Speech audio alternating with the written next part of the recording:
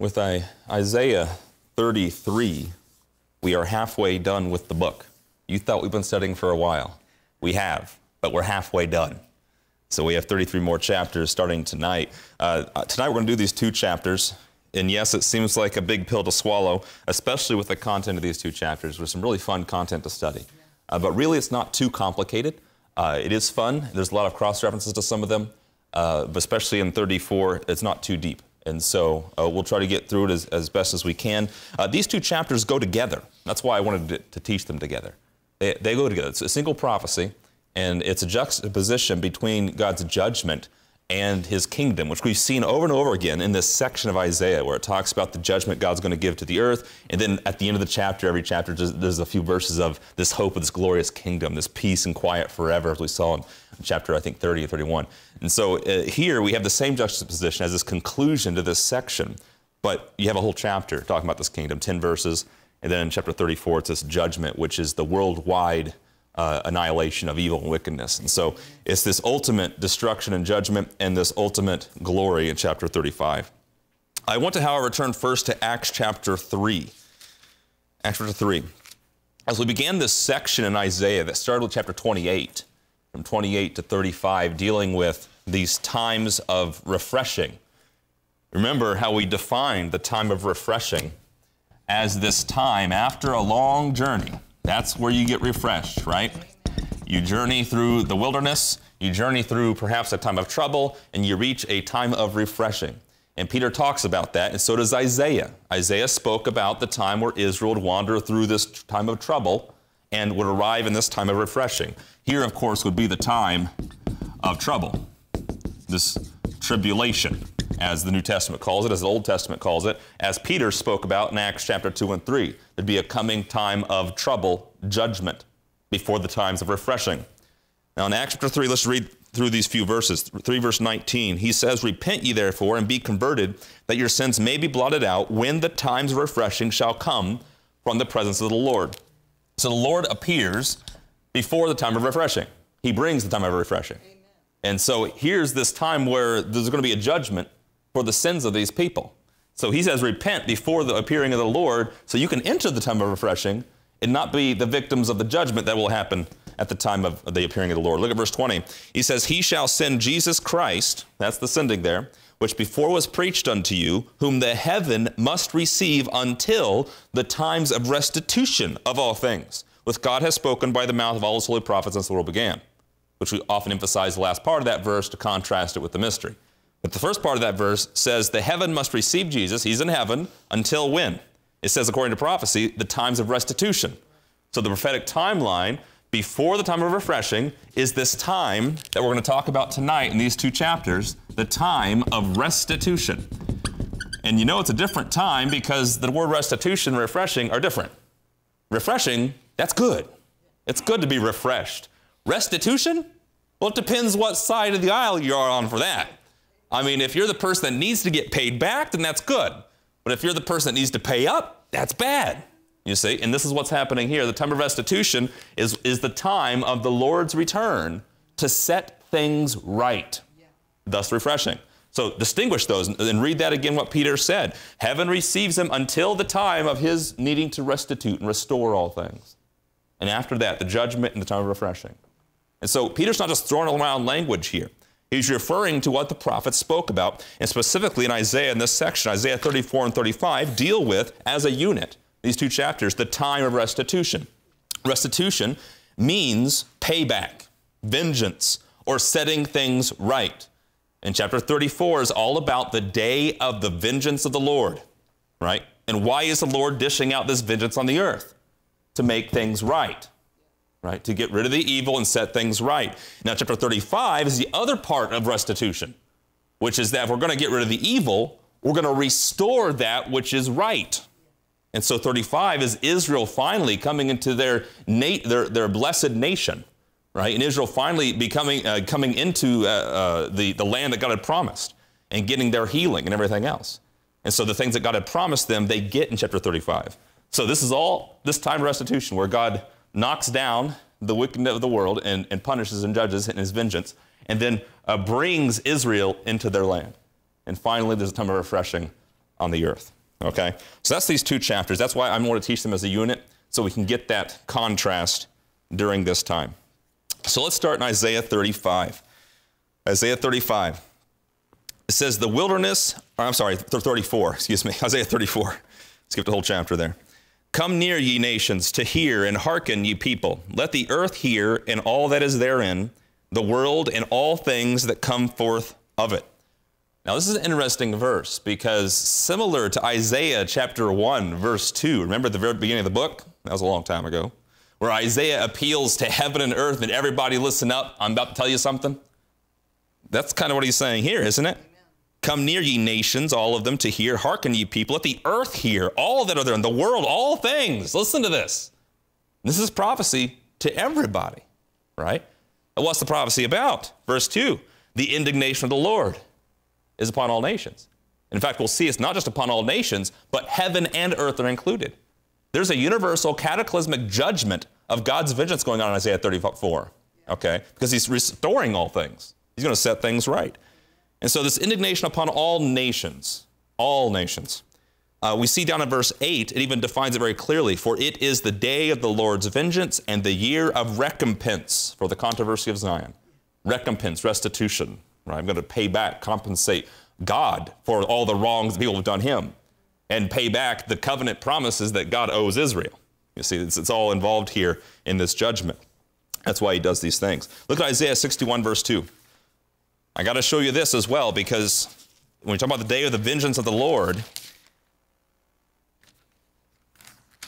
it's important to realize that if this is happening at the coming of the Lord, and Jesus' first coming was still future from Isaiah 34, the question would be well, why didn't all this happen when Christ came the first time?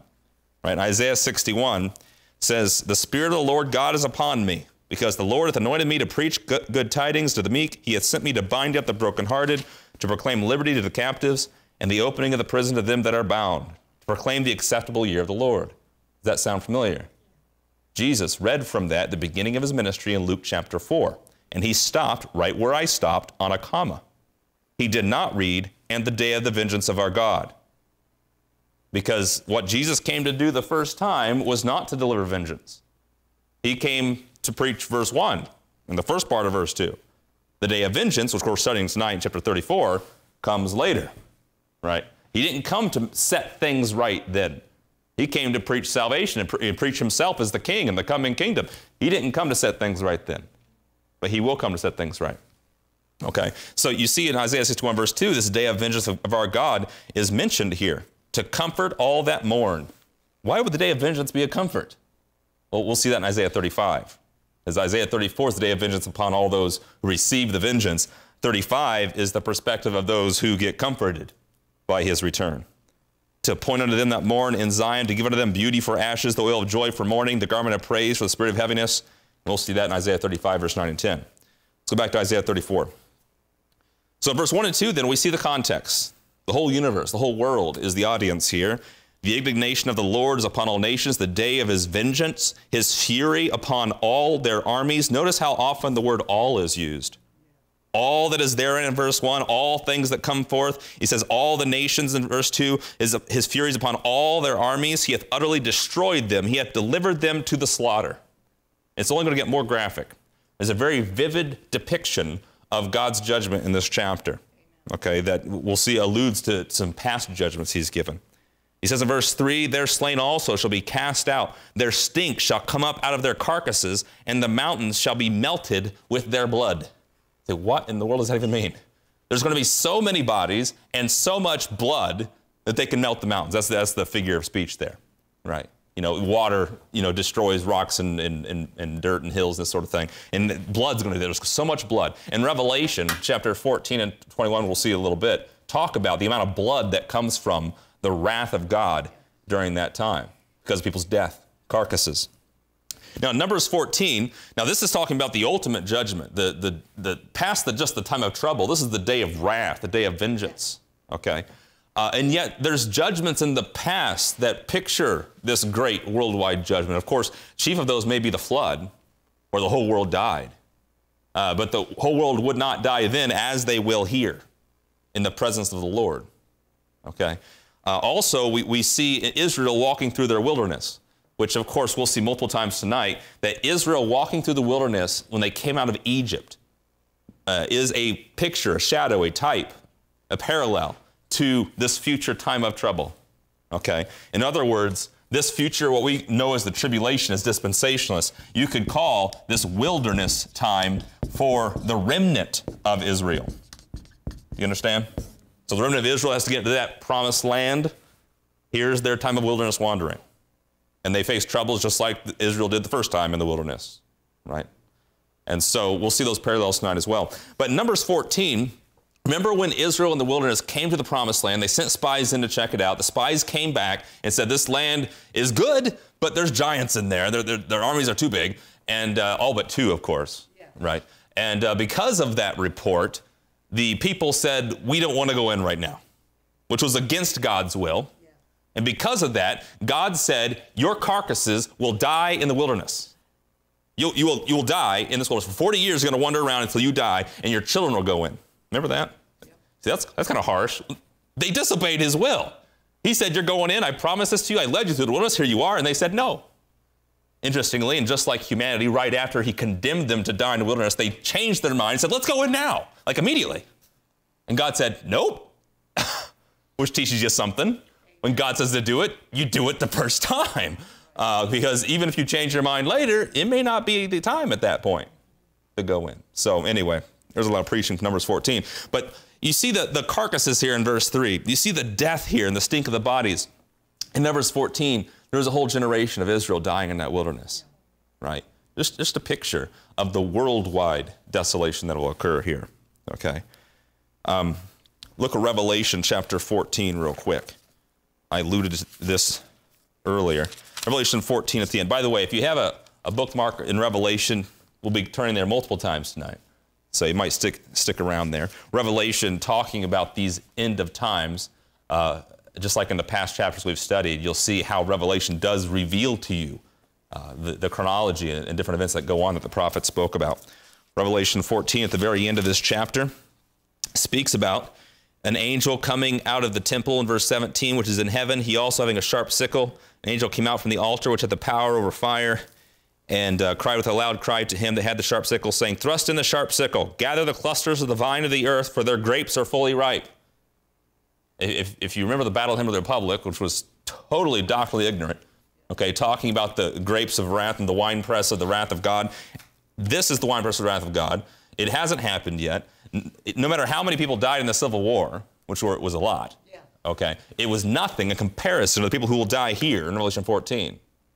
Okay. Revelation 14, the angel thrust in his sickle into the earth, gathered the vine of the earth, cast it into the great winepress of the wrath of God, and the winepress was trodden without the city, and blood came out of the winepress, even to the horse bridles, by the space of a thousand and six hundred furlongs. That's a lot of death. Okay? Uh, this is a time of death right here, a time of restitution, where dead people who deserve to die are living. That's going to be set right. And all the people that deserve to die will die. Uh, he will come, and just like in the garden, where everyone's questioned ever since the garden, where he says, If you eat of the fruit, you shall die. If you sin, you shall die. And Ezekiel says, The soul that sins shall die. All the sinners are going, That's not true even though everyone dies eventually. On that day, God will come back and say, The soul that sinneth, it shall die, and they fall down dead. You see, what he said, he meant.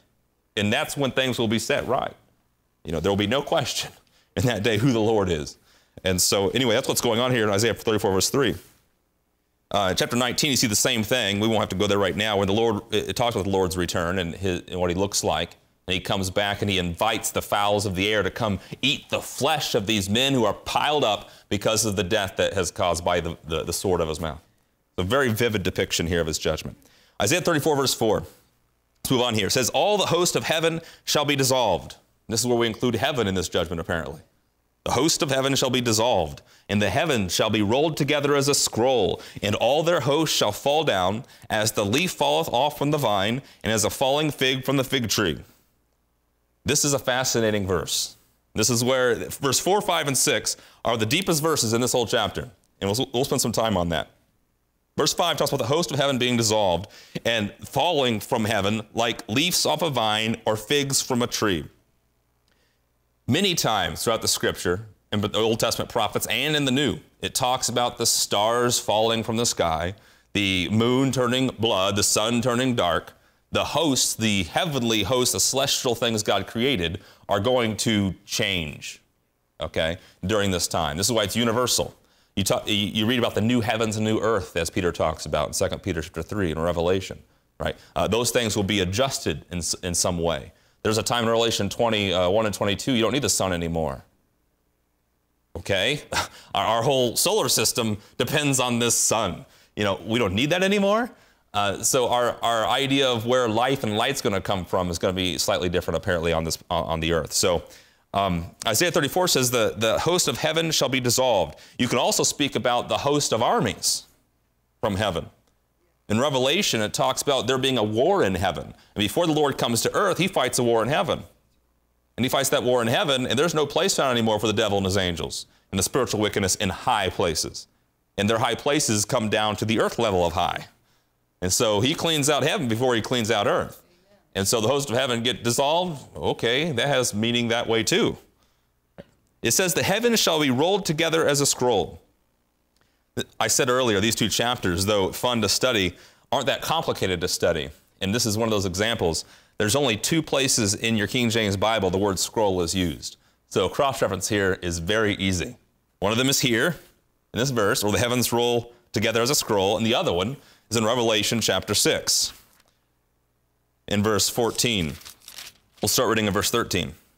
Revelation 6, verse 13. This, is, of course, is the sixth seal during this time of the revelation there, where there's a great earthquake. The sun becomes black as sackcloth and the moon becomes blood. Oh, you mean the things in heaven there start to change. And in verse 13, the stars of heaven fell to the earth. Oh, like the host of heaven are getting dissolved here. Even as a fig tree casts her untimely figs. Oh, that can't be a quote to Isaiah. Oh, it is. Isaiah 34, verse 4. When she is shaken with a mighty wind, and the heaven departs as a scroll. John is quoting Isaiah 34. If you don't know Isaiah 34, how are you going to understand Revelation 6? You see? So, once again, add to the list of things you got to know from the Old Testament to understand Revelation. Revelation chapter 6 here, the heaven departs as a scroll and is rolled together, and every mountain and island were moved out of their places. So there's the melting of the mountains, right? And so all the elements that are here, you find Isaiah 34 as well. This is the time of God's judgment, the day of his vengeance. Isaiah 34 is the time of his judgment, the day of his vengeance. The same elements are in both places. And the rest of that, Revelation 6 there talks about, in verse 17, the great day of his wrath is come. Who shall be able to stand? Which we spoke about last week, right? In Isaiah 33, that question. So you see there the host of heaven being dissolved. Now look at Matthew 24. I jumped the gun a little bit. I was going to walk you through New Testament passages here and got too excited. But we'll go back and, and hit these two. Matthew 24 and verse 29 says immediately after the tribulation of those days shall the sun be darkened the moon shall not give her light and the stars shall fall from heaven and the powers of the heavens shall be shaken you see the tribulation the great tribulation that matthew 24 talks about that the prophet spoke about that was there's no no such tribulation as great as this one and never shall be. Heaven is affected here too, not just the earth. So it's a universal thing. The powers of the heavens shall be shaken, and then shall appear the sign of the Son of Man in heaven, and shall all the tribes of the earth mourn, and they shall see the Son of Man coming in the clouds of heaven, which have departed like a scroll, right? And, uh, and it says with power and great glory. And so um, that is this time here, of course. He'll come to restitute. In this same context, down in verse 32, it says, Learn a parable of the fig tree when his branch is yet tender. Why is he talking about a fig tree in the context of the Lord's coming? It can't be because of Isaiah 34, can it? Isaiah 34 said, The heavens will be shaken like a fig tree that cast its figs. That's why Jesus told this parable, the fig tree. It's not a parable if you understand Isaiah 34, you that have ears to hear. Right? When does a fig, when does a fig fall off a fig tree? When it's done, when it's ripe, it falls down. You see, the parable's not that difficult. Okay. He says, Learn the parable of the fig tree. When his branch is yet tender and puts forth leaves, you know that summer is nigh. But the figs don't come out at the beginning of the summer. When the leaves come out, you know, okay, we're getting ready. You see the buzz, and the fig starts to grow, and then it grows, and gets ripe, then it falls. See, that, you know how fruit falls off a tree. That's all he's saying here. You got to know the order of events. You got to know what's going to happen. Isaiah 34 talks about what's going to happen. Revelation 6 talks about what's going to happen. Matthew 24 talks about what's going to happen. There are certain things that have got to occur. The leaves grow from the tree before the fruit does. Then the bud comes before the fruit's full. And then when the fruit's got to get full and ripe before it falls down. Right? So when's, the, when's your coming, Lord? Well, don't you know how to look at the fig tree? Right? When you see the things in the host of heaven dissolve, and you see the heavens shaken and the clouds depart like a scroll, figs are coming down. Right? I'm not literal figs, we're talking about the metaphor here. Right? So people spend so much time at 24 trying to in- interpret this fig tree parable. And if they would just realize it's talking about what happens in the timing of this, right? You'll see Isaiah 34 gives you an answer there. Mark 13, 24. You see the parallel passage here. Take ye heed, behold, I have foretold you all things. In those days after that tribulation, the sun shall be darkened. Here's the time of trouble, tribulation. After those days, the sun shall be darkened, the moon shall not give her light, the stars of heaven shall fall, the powers that are in heaven shall be shaken. And then shall they see the Son of Man coming in the clouds with great power and glory. See that? He'll send his angels to gather together uh, the elect, which is what Isaiah 35 is going to talk about the return of the remnant, the gathering of the elect. And then it says in verse 28, now learn a parable of the fig tree. you say, Jesus didn't say anything that wasn't already spoken by the prophets. He came to confirm the promises and what the prophets spoke about since the world began. And so, if you had ears to hear, which simply means you know what the prophets said, and you are part of the believing remnant in Isaiah's day, and not those that rejected Isaiah's prophecies, you would hear Jesus and go, This sounds familiar. In fact, because of what he's doing, this identifies this guy as the Lord. Right? And that was the whole key of Jesus' ministry, identifying him as the Lord. Let's move on here in Isaiah 34, verse 5. He says, For my sword shall be bathed in heaven. Notice the, the way the personage, the, the, the, the perspective this is being spoken from. This is God talking, right?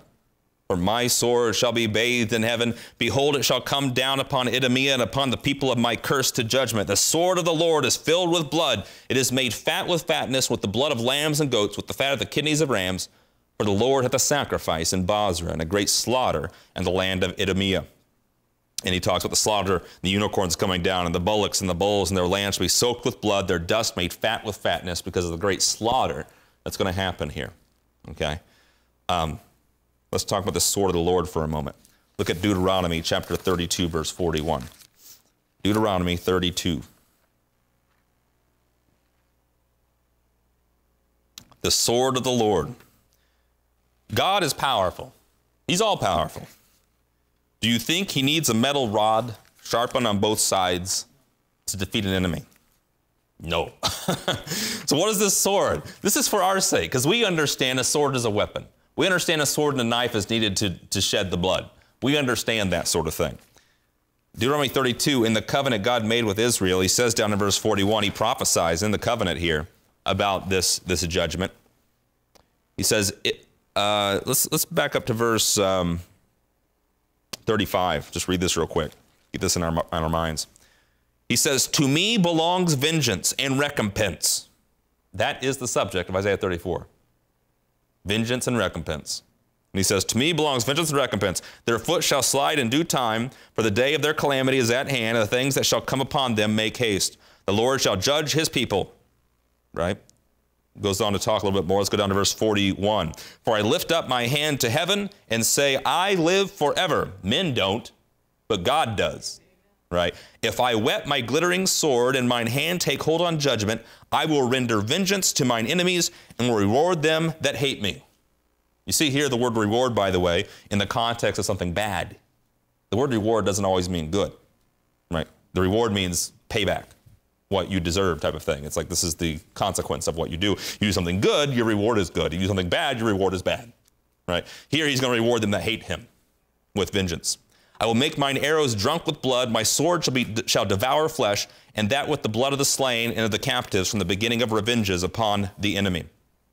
Rejoice, O you nations, with his people, for he will avenge the blood of his servants, and will render vengeance to his adversaries, and will be merciful unto his land and to his people. Notice the contrast there that we'll also see in Isaiah 34 and 35. He will deliver vengeance to his enemies, those that hate him, those who broke the covenant, those who don't want him. And then his people and his land he's going to protect.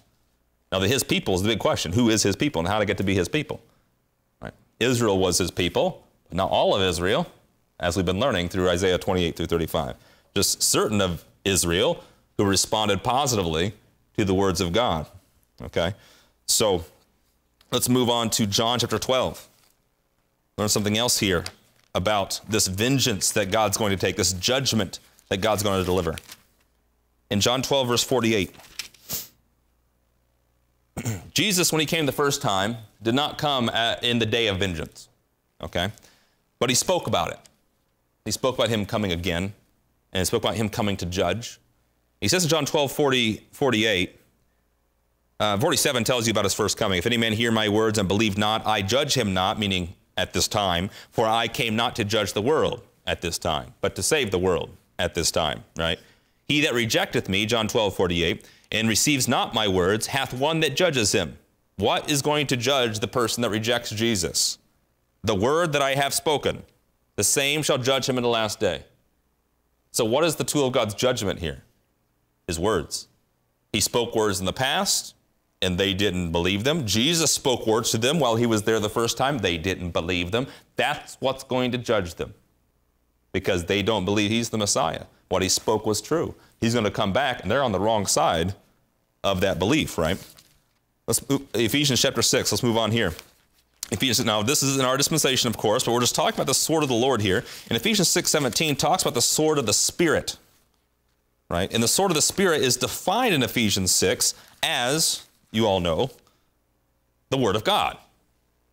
Jesus says they'll be judged by my Word, right? Deuteronomy was the Word of God in covenant for Israel, you see? So he talks about a sword there, and they're being getting vengeance, but what's the basis of the judgment? What he wrote in that covenant. His words revealed this book, right? Jesus came and said, My words will judge him in that day. Paul says, Carry around the sword of the Spirit, which is the Word of God defining God's sword as his words. Look here at Hebrews chapter 4 verse 12. Hebrews defines the word of God as what? A as quick and powerful and sharper than any two-edged sword. So why would God want a real metal sword if his word is sharper than a two-edged sword? That would make a lot of blood, right? You see in Revelation chapter 1, this theme continues of what this sword is. Revelation 1, verse 16. This image of Jesus Christ here, the Lord, he had in his right hand seven stars, and out of his mouth went a sharp two edged sword. Well, out of your mouth comes words. And we just saw a two edged sword in Hebrews 4 being the word of God, right? His countenance was as the sun shineth in his strength. Look at Revelation chapter 2, verse 16. He says in one of the letters to the churches there, Repent, or else I will come unto thee quickly and will fight against them with the sword of my mouth. How is Jesus going to fight them when he comes back? He'll have a sword, and it comes out of his mouth. The sword is what cuts, slices, kills. That's why they call it the sword. That's why you have a sword, to cut and kill, right? But he'll cut and kill with the words of his mouth. So that's why they call it, it's called a sword. Look at Revelation chapter uh, 5, uh, 19. Revelation 19, verse 15. Revelation 19 is the description of Jesus' coming on this day of restitution, this day of wrath and vengeance. And it says in verse 15, after it describes his clothes and it describes the horse that he's on and everything else, it says, Out of his mouth goes a sharp sword. You see, so the sword he's carrying is out of his mouth. That with it he should smite the nations, and he shall rule them with a rod of iron and tread the winepress of the fierceness of the wrath of Almighty God. So again, the sword of his word. That's why I said before, he's going to come back and say, The soul that sinneth, it shall die. That's all he's got to do, you see. And we'll see this happen in Isaiah 35, where he is leading Israel, saved Israel, remnant Israel, into this kingdom, and they're singing songs because they don't have to do anything. Because the Lord's going to go whoosh, whoosh, with his words, right? And so that's, that's the picture there. And that's why man without Christ is going to be hopeless. His word is what matters. Let's go back to Isaiah 34. He says, My sword shall be bathed in heaven. It says in Psalms, His word is settled forever in heaven. His word is known up there. It's just a matter of time before His word comes to pass, right? And in this time, it will be bathed in heaven first, then it shall come down upon Idumea, which is on the earth, upon the people of my curse to judgment. The people of my curse. Who are these people? Right? Who are the people of his curse? It says Idumea and the people of my curse. Now, Idumea, we'll cover in a little bit here, is Edom. Edom, Jacob's brother, which is Esau, had a nation like Jacob had a nation. Jacob had a nation, it was Israel. Esau, his brother, had a nation, it was Edom, the Edomites. Okay? Genesis 36 says Esau is Edom. We'll cover that in a moment. But here it says it'll come down upon Idumea and upon people of my curse. Who are the people that God cursed? Galatians 3.10 says those who are under the law are under a curse. God gave the law, right? And Israel is cursed by it. It was supposed to show them righteousness. It's supposed to help them, and eventually it will bless them when they keep it. But it was a curse to them when they didn't keep it. Matthew 25, 40 and 41, this judgment upon the nations there. Jesus talks about them who are cursed going to everlasting fire. Why were they cursed? Because they didn't keep this law, that, these instructions I gave them. They were cursed. Deuteronomy 29, 18 to 21, and Deuteronomy 20, uh, uh, Leviticus 26 lists the curses. If you don't keep the words of this covenant, cursed, cursed, cursed, cursed, cursed. So he says, My sword is bathed in heaven and upon Idumea and upon the people of my curse, which is to say, the people who I have not redeemed. Right? The people who are going to get the curse that my covenant said they would get. You better get out of that covenant. You better get into a new covenant. Right? That was the whole point of being in that remnant, getting in the new covenant. Because if they're still in that old covenant, curse. The people of my curse that God wrote down to curse them. You see? They have to believe Jesus is the Messiah Amen. to get in that new covenant. So, anyway, you got the people of my curse, that's who they are. And then it says in verse uh, 6 the sword of the Lord is filled with blood and is made fat with fatness. And we went to Revelation 19 already, and uh, we saw the sword coming out of his mouth. But we didn't read the passage there that spoke about his garments. Remember his garments? Revelation 19, verse 13 his garments were stained with blood. And man, the preaching from that verse out of context and wrongly, wrongly applied would say, well, this is, this is Jesus' blood because he died for the sins of humanity. He's not coming to save on that day. He's coming with the sword filled with the blood of men who are cursed, right? That's the stain of the blood of the up to the horse's bridle that he's stomping the winepress of the wrath of God. That's what that is. Yes, Jesus shed his blood for sins over here and they rejected it. That's why he's coming to judge. You see? And you see that, that, that theme over and over again. His sword and his garments are bloody because, look at Isaiah 63. Isaiah 63. Who is this that cometh from Edom with dyed garments from Bozrah? Bozrah is the capital city of Edom. This that is glorious in his apparel, traveling in the greatness of his strength. I that speak in righteous, mighty to save. Wherefore art thou red in thine apparel, and thy garments like him that treads the wine fat? Why are you all red? He says, I have trod, trodden the winepress alone, and the people there was none with me, for I will tread them in mine anger, anger and trample them in my fury, and their blood shall be sprinkled upon my garments, and I will stain all my raiment. For the day of vengeance is in my heart, and the year of my redeemed is come. You see? Why is his garment stained with blood in Revelation 19? It's not his own blood there. That's their blood. He's getting vengeance. Okay? You see what's going on? By the way, notice what I said before about he won't need any help. Verse 3 says, I've done it myself. Of course, he's done it himself. If you know about God's grace, he wouldn't have it any other way. Right? so no one on that day would say, I helped God deliver vengeance. Uh, no, he didn't. Nobody does. Right? And so the, the Lord's going to get his, the vengeance is mine, saith the Lord. Deuteronomy 20, 20 or 32 say, says. So Anyway, we see that the filled with blood and why that's important for Revelation 19 has garments are stained there. Look at Isaiah 34. We, we saw Bozrah in Isaiah 63. Bozrah is the capital city of Idumea or Edom. Okay, and he says this in verse 5 and 6. He'll come down to Idumea. Then down in verse 6 is a, a sacrifice in Bozrah, a great slaughter in the land of Idumea. Okay, uh, the word Edom means red, earthy, bloody. We know Edom or Idumea is the people of Esau because Genesis 36 8 very clearly says Esau is Edom. That's quote in scripture. So you can't get that complicated there. This is what this is. And, um, and we see throughout the prophets prophesied destruction of the people of Edom, the Edomites. And you might say, why is God picking on the Edomites? Well, he's not picking on them. All of God's judgment is just. And this is the day of restitution, recompense, remember. And so the Edomites in this place gets this slaughter and judgment because of the history that they've had against specifically his people. So remember, Genesis chapter 12, when God created Abraham and his promise there and the people of Israel, if you bless them, you get blessed. If you curse them, you get cursed. The people of Jacob, the people of Esau. And over and over again, there's this controversy, there's this opposition between Jacob and Esau. And it's not always that Jacob gets it right. Right? Jacob lied, remember. I mean, Jacob the person lied. In the future, Jacob's people, the nation, they often did wrong. God had to punish them too.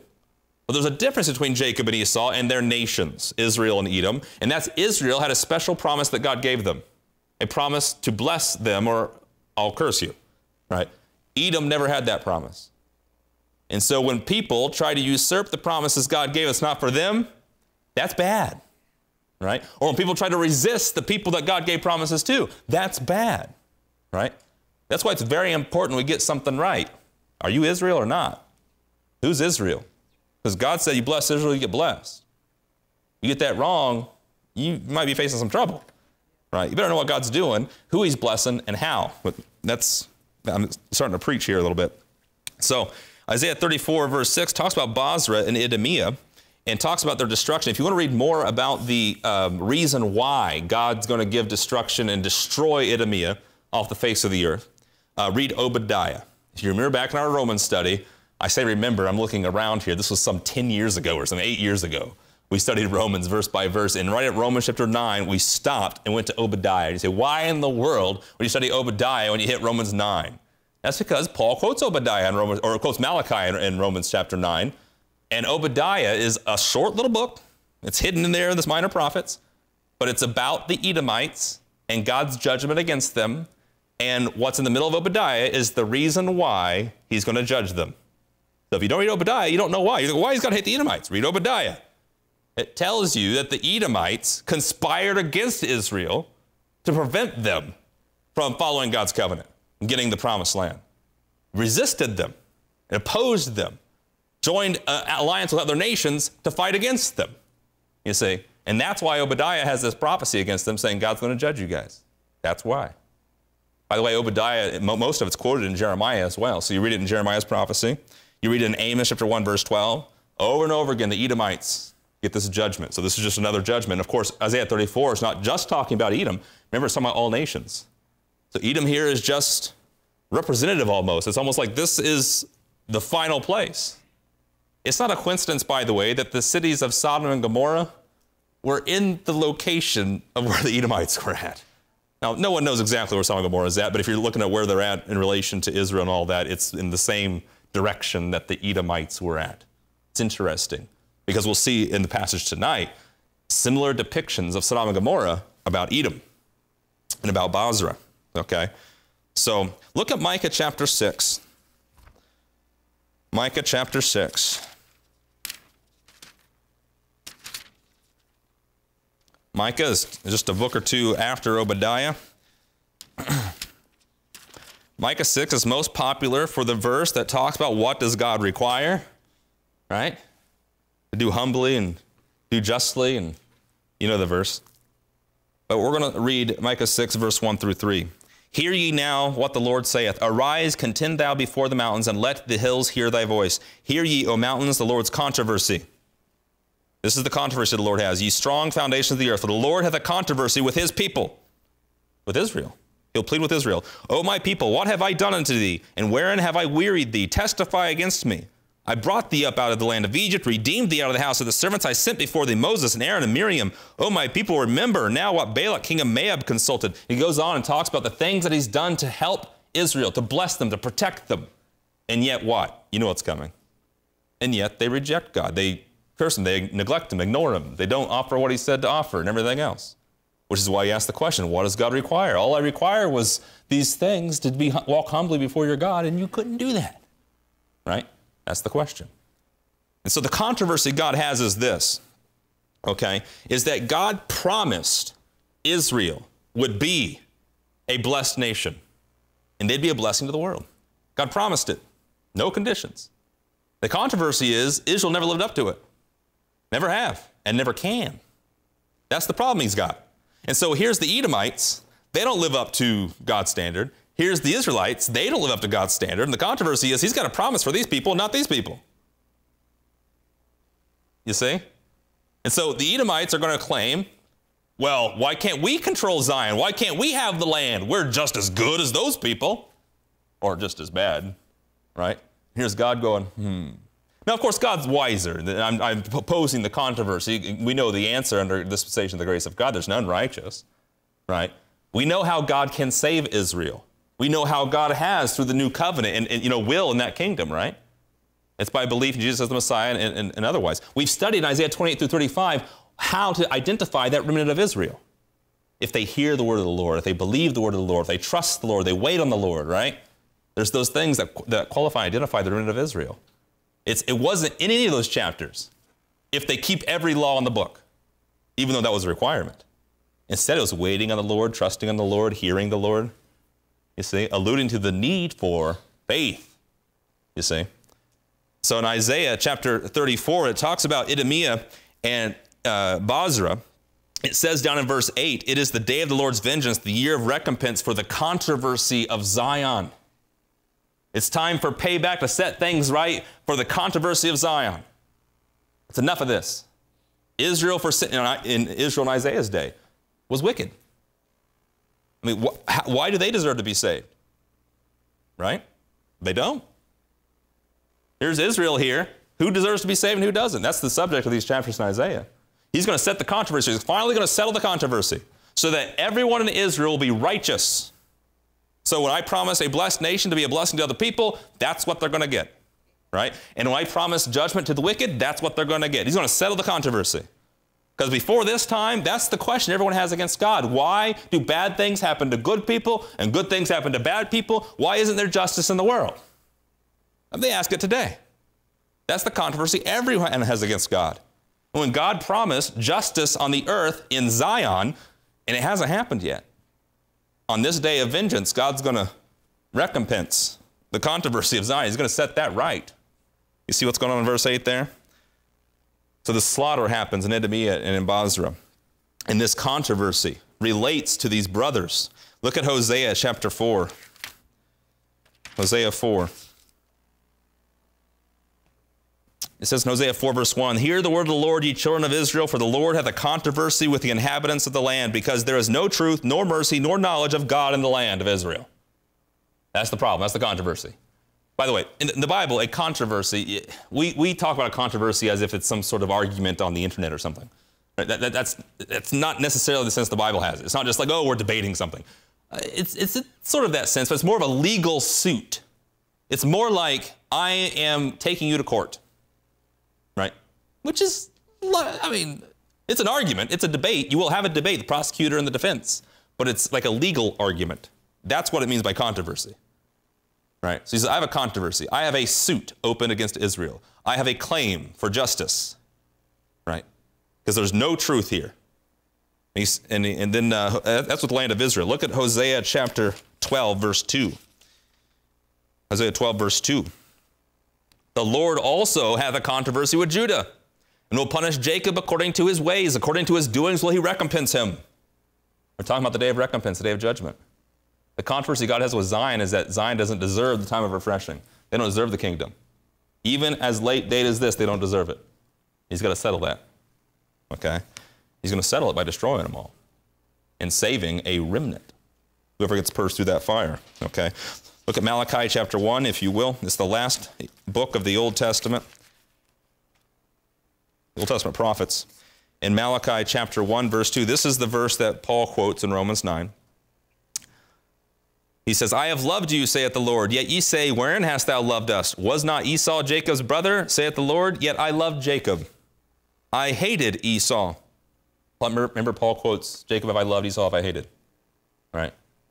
He wasn't talking there about the individual men. He was talking about the nations that came from them. Malachi was written years after those men had died, centuries, right? He says, I hated Esau and laid his mountains and his heritage waste for the dragons of the wilderness. Edom saith, We are impoverished, right? But we will return and build the desolate places. But Israel is not. Edom is wasted. Israel's not wasted. By the time Malachi was written, Israel had returned to their land, you see. God says, I loved Israel. Even though you, you rejected me and disobeyed me, you broke my covenant, I had a, a promise to you. Edom I had no promise with. So they disobeyed me, they're gone. Look. And he points out how their homeland's a heritage. Even to this day, it's a wasteland. People still live over there. Not like the Bible describes how it used to be, though. Okay, green and everything. So it's interesting that this controversy in Zion relates to these brothers, Jacob and Esau, Israel and Edom are God and the nations here. In this, this year of recompense, this day of vengeance here, is going to repay all that. Okay? Edom then will be wasted for, uh, forever, and Israel, uh, the remnant of Israel, will get what God promised them. Look at Isaiah 34. We'll finish out the chapter. Verses 9 through 17 is a section here describing the, the, the desolation of uh, Idumea and the nations. And it says, The streams thereof shall be turned into pitch, the dust thereof into brimstone. The land thereof shall become burning pitch. That this is this this should bring up images of Sodom and Gomorrah. Fire and brimstone is like a wasteland, right? Um, this is how Idumea is going to be. This is how the nations are going to be. You read Revelation, it talks about all the grass of the earth being burned up. And you're going, it's not good. You know, talk about the, uh, all the, the, the, fresh water and all the, the seas, it's just not good, just being destroyed. The earth is looking not habitable by the end of those judgments. Okay? Some miraculous change has to happen after these judgments for the earth to start looking like a place of refreshing. Okay? And that's what's going to happen. Isaiah 34, verse 10 It shall not be quenched night nor day. The smoke thereof shall go up forever. From generation to generation it shall lie waste. None shall pass through it forever and ever. Interesting about this as well, this fiery, smoky place. Isaiah 66 will talk more about this in other places. There's going to be a, a temporary hell, so to speak, in this kingdom. It's going to be a time of refreshing. Christ is going to reign. And near God's kingdom here, there's going to be a place that will remind people of judgment and hell and the transgressors in this kingdom, he'll just throw over there. People can walk by and witness. And this is this place here. The Idumea is going to be burning and a pitch, and it's going to stay like that. And around it's going to be all this green and all this refreshing. And they're going to say, Look at that wasteland. Yep, that's God's judgment. Remember? Transgress me now, you go there. Right? And so th- this is the picture. Isaiah 66 ends with that, that, that picture. Isaiah 34, verse 10, or verse 11 says, um, well, verse 10 at the end, it says, From generation to generation it shall lie waste. None shall pass through it forever and ever. Pass through, they won't travel through it. But the cormorant and the bittern shall possess it. The owl also and the raven shall dwell in it. He shall stretch out upon it the line of confusion, the stones of emptiness. And it goes on to list quite a few other animals here. And the commentators spend paragraph after paragraph trying to discern what these animals really are. A waste of time. The point is, the animals that are dwelling here are animals that dwell somewhere that people don't. That's the point. This isn't like your pet cat coming to live because they're looking for food. Nobody's going to live, these animals there are there because it's a desolate place. That's why these animals are going there, right? They also happen to be unclean animals, right? So not the chickens and the cows, because, you know, they are the sheep. These are animals that are wild. These are animals that live in the wild or desolate places. That's what that is. It says in verse 12 that uh, they shall call the nobles thereof to the kingdom. They'll call the nobles of Edom to the kingdom, and, but none shall be there. And all her princes shall be nothing. Now, this speaks to Genesis 36. If you go back to Genesis in our Genesis studies, we, we spoke about Jacob and Esau literally and their families and their sons. In Genesis 36, just lists a genealogy of Esau's family. Esau, after he didn't receive, after he despised his birthright and then refused the blessing his father wanted to give him anyway, he married someone outside his family line, a contrary to God's instructions, and then created all sorts of nations from his family that opposed Israel in the future. Genesis 36 lists all these princes and kings and nations that come from Esau. And princes and kings and nations that outnumbered the kings, princes, and nations that came from Jacob. And so that's the point of that chapter. So many more princes and nations from Esau than Jacob. And so if you're talking about being, you know, multiplied, Esau actually won that. But it's not the number, is it? And you go preaching from there about it not being a majority and all that. But here it's talking about their princes being no more. So here, Israel is going to remain. Edom has no representation, right? And so it's not about the number once again, because at one, one day God's going to set things right. And so it says in verse 13, thorns shall come up in her palaces, nettles and brambles in the fortresses thereof, and it shall be a habitation of dragons and a court for owls. The wild beasts of the desert shall also meet with the wild beasts of the island, and the satyr shall cry to his fellow. And people say, satyrs, isn't that a mythical animal? I mean, didn't we read about unicorns earlier? Isn't that a mythical animal? Well, it could be an animal that you don't know existed. It could be another name for an animal that you know existed. It could be mocking the mythical animals of the pagans. There's many solutions here. It's not, it's not happenstance that in the King James Bible, the note next to verse, uh, um, verse 7 here has rhinoceros as a marginal note in the King James Bible next to unicorn because unicorn means single horn. And they didn't put rhinoceros because there's two horned rhinoceroses, you know. So the one horned kind. It's more specific, you see. But the fact you think of a horse with, you know, the horn out of the head just means you believe in fairy tales, yeah. not the Bible. So be careful of throwing your Bible out. Um, Satyr shall cry to his fellow, the, the shriek out, screeching owl also shall rest there and find for herself a place of rest. There shall the great owl make her nest and lay and hatch and gather under her shadow. Why are these owls there? Because no one else is there. That's why they're there. There shall the vultures be gathered. Why are the vultures there? Because no one to shoo them away. And everyone with her mate. So all of these animals, which live in desolate places, are going to live there. And then God says, I want to make sure of that. Why would God want to make sure of this? Because his judgment's going to be sure. Now, verse 16 is a fascinating verse. Seek ye out the book of the Lord and read. This is instructive. This tells us, first of all, there is a book of the Lord in Isaiah's day. In fact, in Isaiah chapter 8, if you recall, God told Isaiah to write his prophecies down in a book. And so, another way to see this is that Isaiah is saying, Read what I'm writing as it is the book of the Lord. Just read what I just wrote to you about this place of torment and hell, this place of desolation, this judgment's going to come. And he says, Read the book of the Lord. No, no one of these shall fail. What God says will be, will be. Right? None shall want her mate, for my mouth it hath commanded, and his, his spirit it hath gathered them. God will fulfill it. He hath cast the lot for them, and his hand hath divided it unto them by line. They shall possess it forever. From generation to generation shall they dwell therein, talking about this place of desolation. Okay? And so th this is a fascinating verse there about seeking out the book of the Lord. God wrote a book. It was existed in the time of Isaiah. Isaiah contributed to it. He said he contributed to it. He knew God was writing this book. That's the doctrine of inspiration there okay, inspired by God. Now, this chapter goes right into chapter 35 in the next, next 10 verses here because it talks about this place of desolation, this time of judgment. And in contrast to this desolation and judgment, you have some people rejoicing here in, verse, in chapter 35, verse 1. It says, The wilderness and the solitary place shall be glad for them, and the desert shall rejoice and blossom as a rose. So, in contrast to the desolation, you have this rejoicing. Well, who would rejoice at all of that? You rejoice if you understand He's setting things right and you know what's right. Then you rejoice. You see? If you don't know what's right, you're looking at this going, that's not fair, and this isn't right. And you know, that's always the response of people who don't know what's right. They read the Bible in the places where God judges and says, God's hateful and God's angry and this isn't right at all. Well, if someone doesn't know what's right, that's the perspective, isn't it? But verse 35, chapter 35, verse 1, this is about this restitution from, from the side of those who will receive that kingdom. It says, The desert shall rejoice and blossom as a rose. This is what will happen to this, the, the judgment of God on the earth if God's going to make the earth a time of refreshing. If he's going to make the land of Israel a, a, a place. The desert blossoms as a rose. Okay? You're going to have plants grow, apparently, miraculously.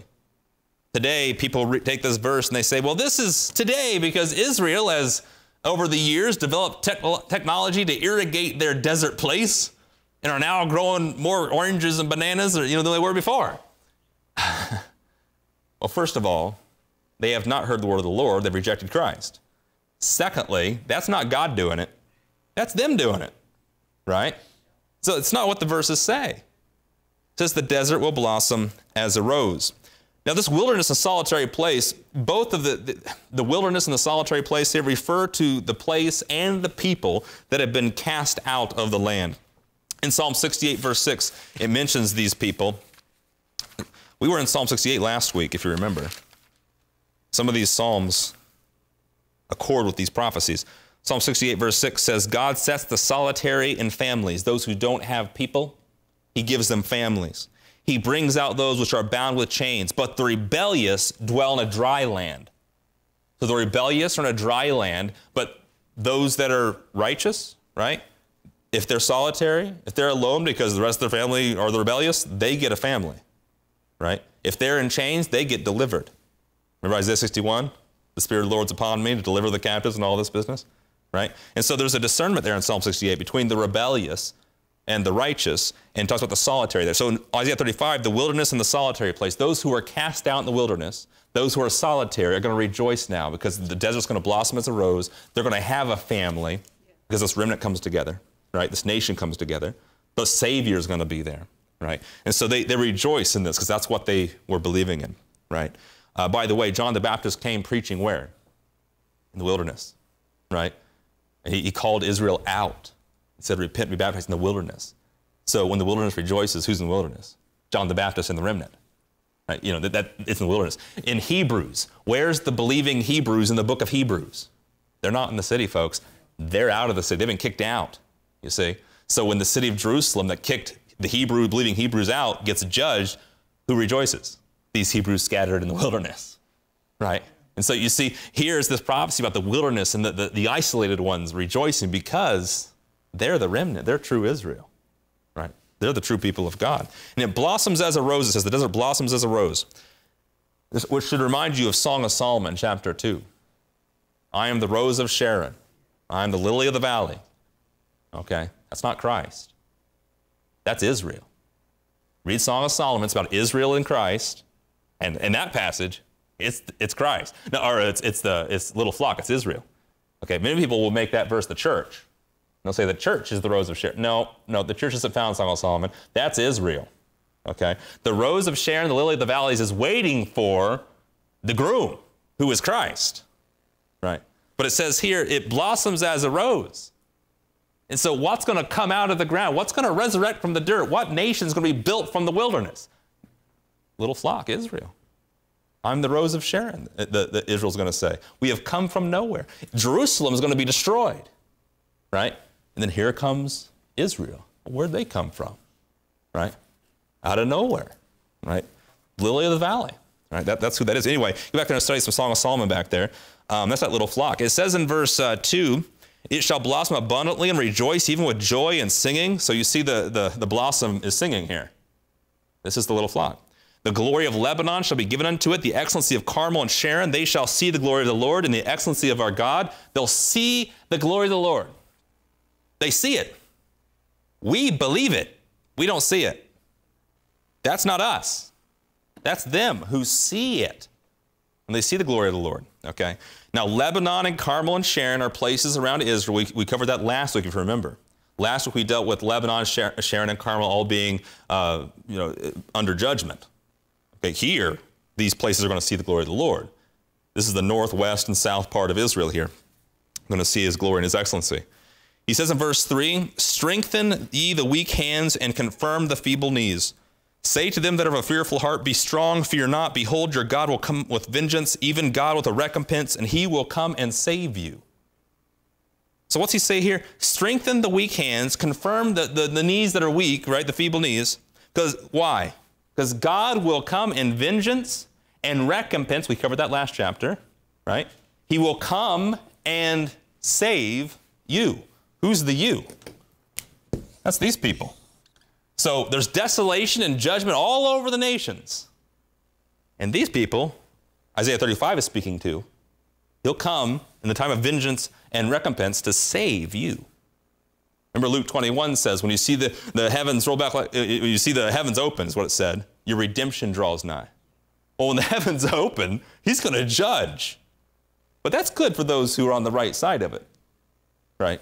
And so they, he will come and say, by the way, notice what it says here. We, we read right past it because we believe it so, so truthfully. It says, who will come here? Who will come? God will come. Who will, who, who will come with vengeance and recompense? God. But we've already covered Revelation 19. We've already covered Malachi 4. Who is it that comes? It's Jesus. Jesus is God. That verse says God will come. But every other passage we reference in the New Testament says Jesus is coming. Jesus is God, right? The Bible teaches it. And so he will come and save you. The you there is the little flock, the remnant of Israel, into that kingdom. Okay? Look at Hebrews chapter 12.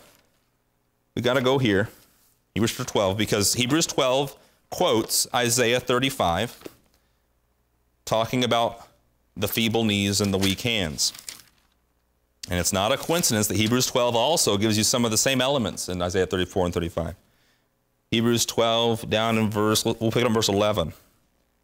No chastening for the present seems to be joyous, but grievous. Nevertheless, afterward it yields the peaceable fruit of righteousness unto them which are exercised thereby. What chastening possibly could Hebrew, the book of Hebrews be talking about? Surely not this time of trouble and restitution, so that afterward they get a peaceful fruit of righteousness. Yep, that's what it's talking about. This is not the church, folks. This is the time of tribulation that he's speaking to here. He says in verse 12, Wherefore, because afterward you receive, not now during the time of trouble, but afterward you receive the peaceful fruit of righteousness. Because of that, wherefore, lift up the hands which hang down, the feeble knees. That's Isaiah 35. And make straight paths for your feet. That's Isaiah 40. Lest that which is lame be turned out of the way, but let it rather be healed. That's interesting. Make your paths straight so that you can be healed. Wow, healed? Follow peace with all men and holiness, without which no man shall see the Lord. We've already covered how no man's going to survive unless what? Holiness. They need holiness, right? Remember that. What do they need? Holiness. We're going to see that in Isaiah 35. Okay. Looking diligently, lest any man uh, fall of the grace of God, lest any root of bitterness springing up trouble you, and thereby many be defiled. Lest there be any fornicator or profane person, as, let's randomly pick an Old Testament person, Esau. As Esau, who for one morsel of meat sold his birthright. Coincidence, he mentions Esau, right? When Isaiah 34 talks about Edom and the day of vengeance? No, I don't think so. Jacob and Esau, and what happened there?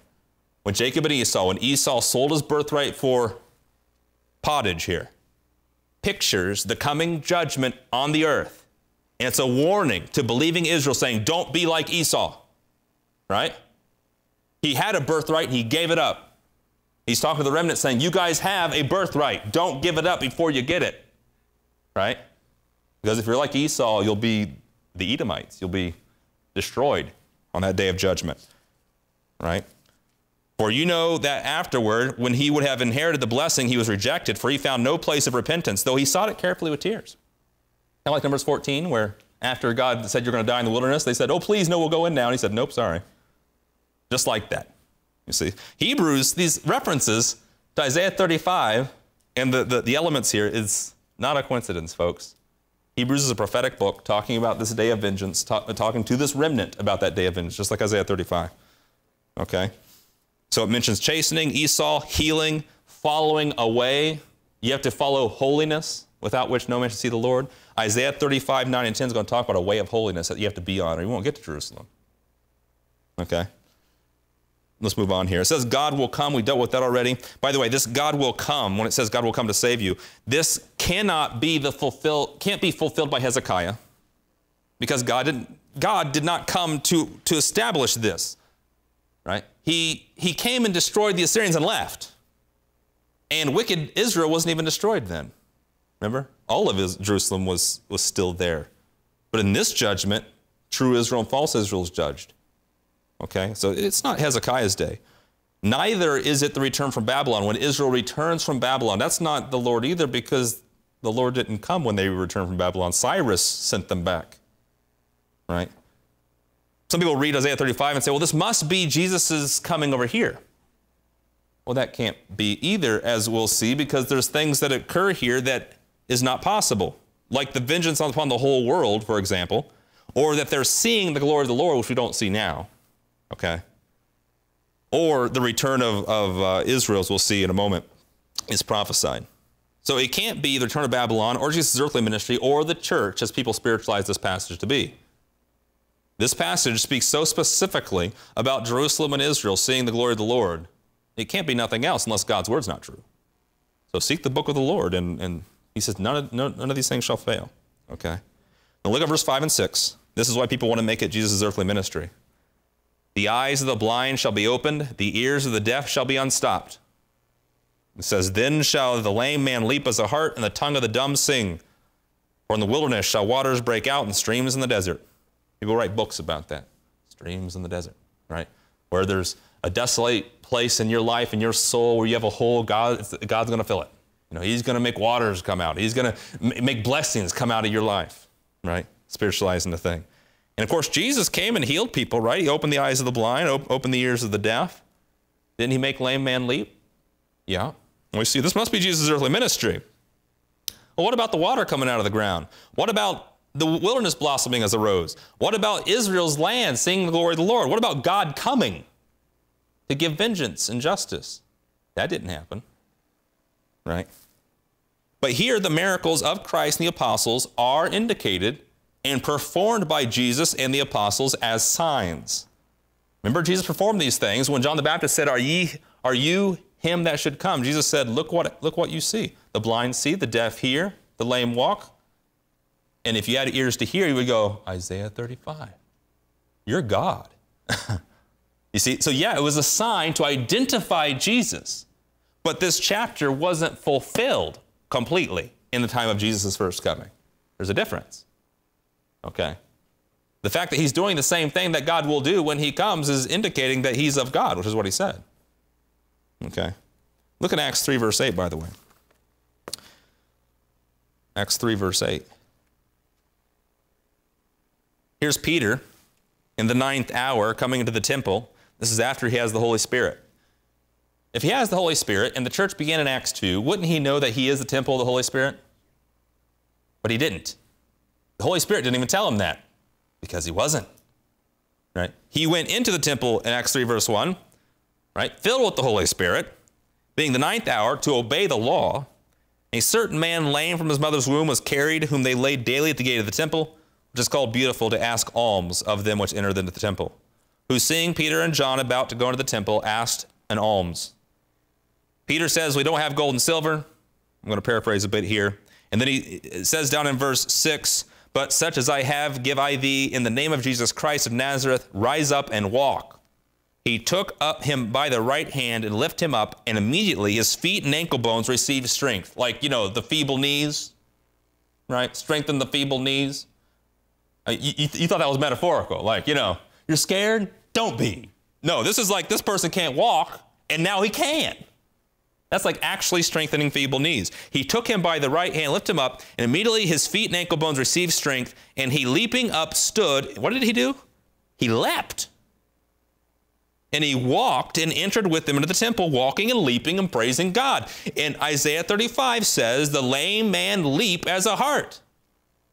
Right? So did, is Peter fulfilling Isaiah 35? He sure is. The, the problem is not every lame man leapt as a hart. Because in Isaiah 35, it's talking about there being no sickness in God's kingdom. Right? It's not saying here, some shall. It's the lame man shall, the blind man. There, there's no blind, there's no deaf, there's no lame in the kingdom of God. Right? That's why that when Jesus did those miracles and Peter did those miracles, it was evidence that they were preaching the kingdom of God and that the kingdom of God was coming, being preached through them. But it's not yet here because not all of them are healed. Today we have blind, deaf, and lame, which is to say we're not living in the kingdom of God. Right? It wasn't fully fulfilled, completely fulfilled. And yet, Peter makes this lame man leap in the same passage, and after he healed this man, he starts preaching, and what does he say? Repent that your sins may be blotted out at the time of refreshing, at the appearing of the Lord, at the time of restitution of all things. He starts preaching Isaiah 34 and 35, right? In the same context, he heals a lame man. I don't think it's coincidence that he does the miracle in Isaiah 35, the same message he preaches Isaiah 35. That's what Peter intended to communicate. Okay? Let's move on here. Isaiah 35, verse 7. It says, The parched ground, it says, waters will break out in the desert, streams in the desert which uh, for people who live in the desert is a miraculous thing. You have water and you don't know where it comes from. We live in modern society, okay? But uh, in places where don't have, you know, indoor plumbing, you live in the desert, water is precious.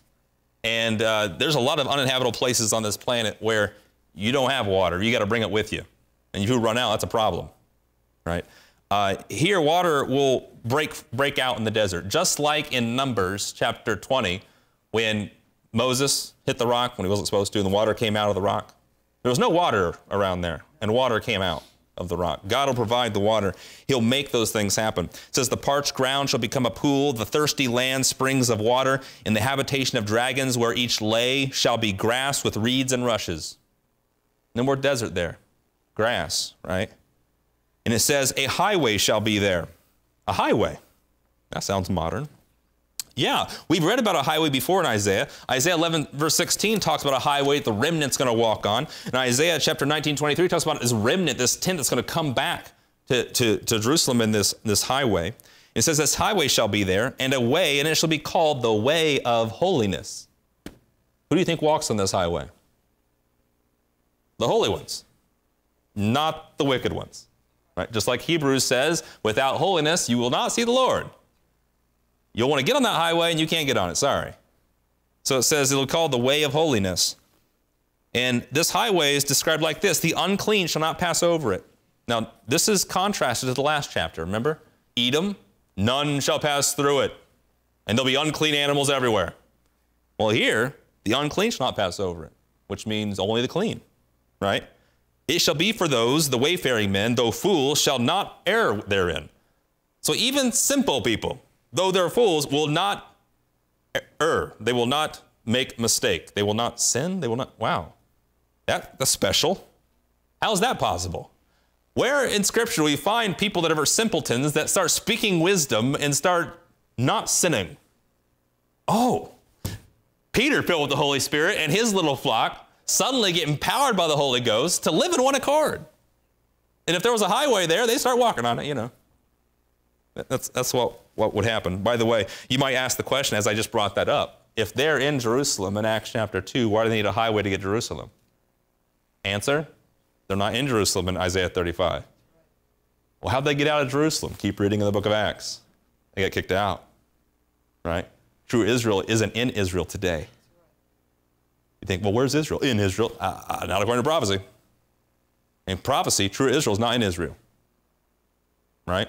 So careful where you're pointing for Israel, because they, they have to ride that highway back to Jerusalem, which means people who are actually there are going to get judged. Okay, meanwhile, today they need to be saved by God's grace, right? That they can be. So it says, The unclean shall not pass over, it shall be for those, the wayfaring men, they shall not err therein. No lion shall be there. Okay? Uh, by the way, um, I mentioned Numbers 20 and hitting the rock with the water coming out. Numbers 20 is also the same chapter after that water came out, where stream, water came out of the streams in the desert. Uh, right after that, they approach the land of Edom in Numbers 20. And they send, send people over to the king of Edom and say, hey, can we pass through the land? Because if you know in the map in the back of your Bible, here's the promised land up here, okay? And uh, Israel's wandering through the wilderness here, and this is the land of Edom. Okay, so they're like, well, we need to get up here, so we're going to travel up what's called the King's Highway. Even today exists the King's Highway. We'll just come up this King's Highway right into the land of, uh, of the Promised Land. Here's the Edomite territory. They asked the king, Can we go through your land? We won't even touch it. They won't eat anything. We'll just go right through the King's Highway. No problem. The king of Edom, brother to Jacob, right, said no. After multiple insistences, Moses is like, Please, I mean, we, won't, we won't even take anything to eat. Moses said, I'll walk with my feet just to make sure. No. So instead, if you go back and read the history, they had to go around the land of Edom. And people of Israel didn't like that very much. That's, they murmured quite a bit about that. But because the Edomites denied their passage, right? The Edomites denied Israel passage on the king's highway. What happens here? The king denies the Edomites passage on his highway. You see? The reverse. You see, he's restoring things, isn't he? He's making things right. All the wrongs that had been wronged, God will make right. You see, the time of restitution of all things. That's why that's good news, right? You praise God for His grace even today, because we've all got wrongs, and Christ makes them right. So he says, No lion shall be there, nor any ravenous beast shall go up on uh, thereon. It shall not be found there, but the redeemed shall walk there. Right? And so you have the redeemed in this way of holiness here. He says, No unclean or wild beast, which is a fulfillment of Leviticus 26, which says that if you keep my law, uh, I will have the wild animals, you will not run into wild animals. Leviticus 26, 6, my paraphrase there. He'll keep them away from them. The opposite of that, the curse was if they broke the law, wild animals would eat you up. And so Leviticus 26, this way of holiness, there'd be no wild animals there.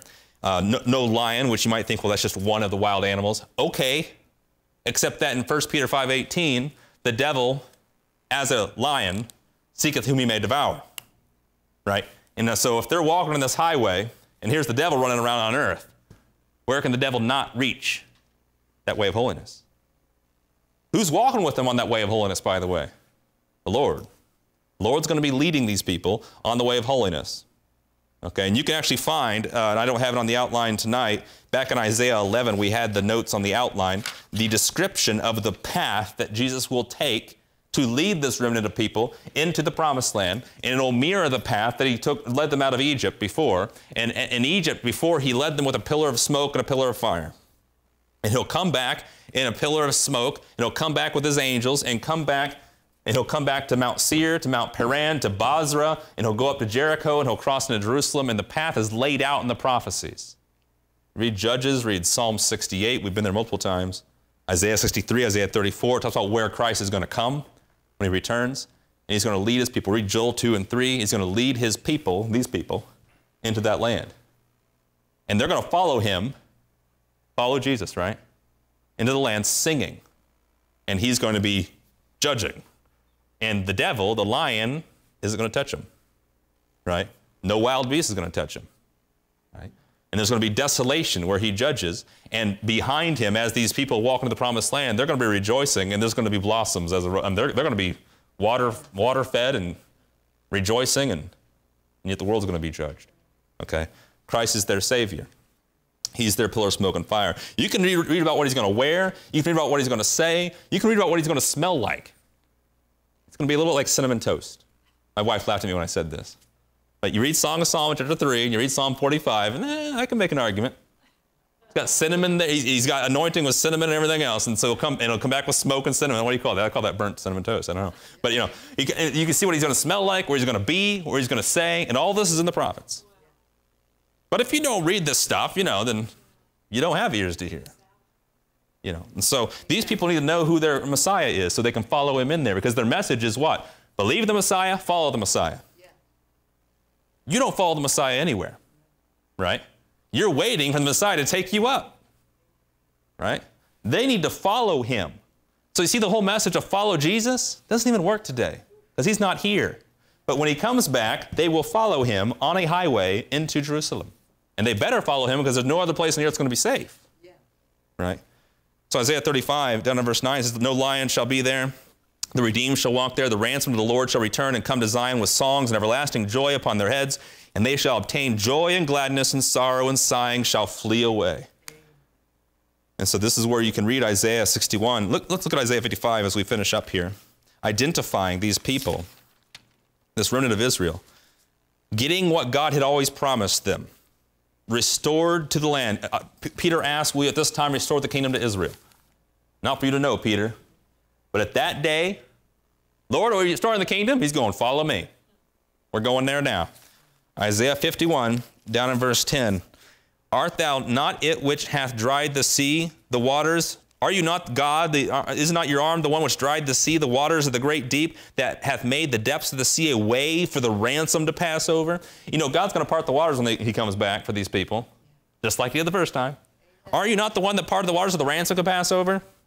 Therefore, the redeemed of the Lord shall return and come with singing unto Zion, and everlasting joy shall be upon their head. They shall obtain gladness and joy, and sorrow and mourning shall flee away. Isaiah quotes himself.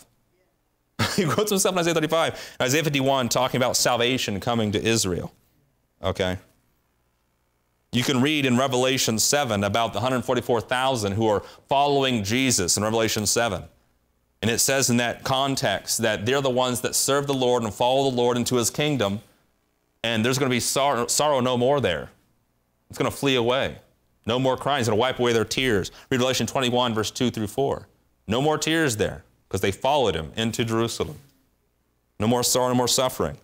And so th- this is the context of Isaiah 35, this everlasting kingdom where Israel becomes a great nation, a holy nation, a blessed nation, and a blessing to the world. So those that bless them get blessed, and, and uh, those who have cursed them have been cursed. Right? So that's the time of restitution of all things, and is the end of this uh, first major section in Isaiah. From chapter 1 to 35, we've been working up to this point. Uh, 36, 37, 38, 39, the next four chapters will deal with a history of Hezekiah and, uh, and his kingship. Then chapter 40 is a whole new different section in Isaiah talking about the Savior and uh, the coming Messiah to Israel. So uh, we'll pick up 36 next week. Any questions or comments about these two chapters?